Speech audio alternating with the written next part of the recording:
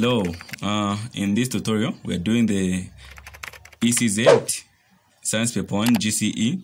Uh, so we are going straight to question 1. Uh, question 1, yeah. The diagram below shows part of a ruler used to find the length of a nail. What is the length of a nail? As you can see, uh, the subdivisions are in 0.1 centimeter or should I just say 1 millimeter. So if you look at this point, this it is starting at 1 centimeter, meaning from here to here, that's 1 centimeter.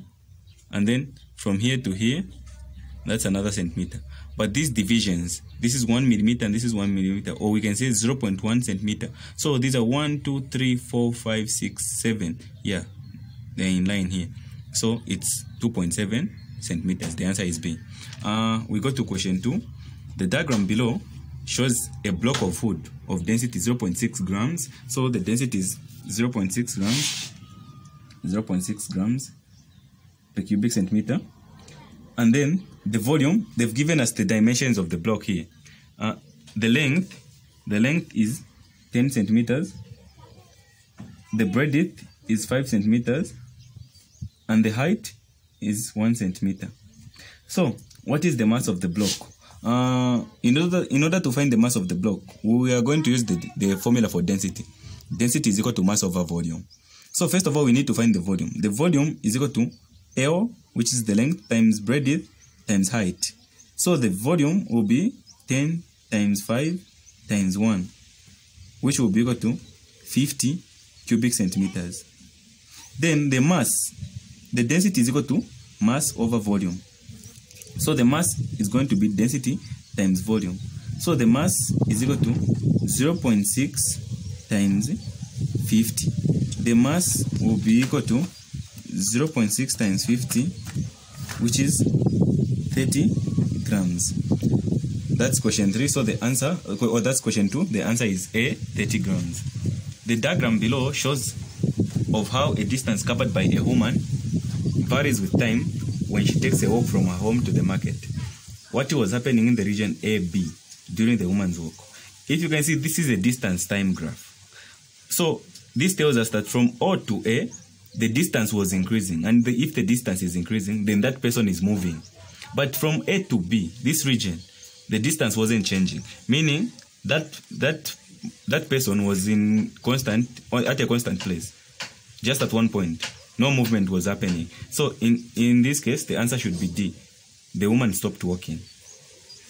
Because if we say walked with a constant speed, this is not a speed time graph where you have to say this is constant speed. This is the distance is the same here. It's constant. And when the distance is constant, then the person is not moving.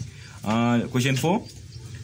A parachutist of mass. So the person has a mass of the parachutist. The parachutist is of mass 60 kg. And then the mass of the parachute m parachute is equal to 20 kg.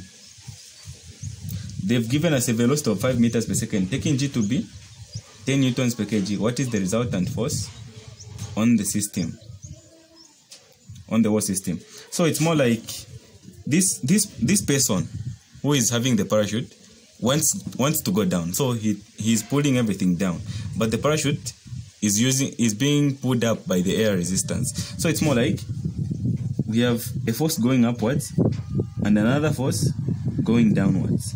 So the force going upwards is that mass of the parachute the new the, the force of the parachute itself. So the mass of the parachute is 20 kg times the 10 which has been given as the the acceleration acceleration due to gravity.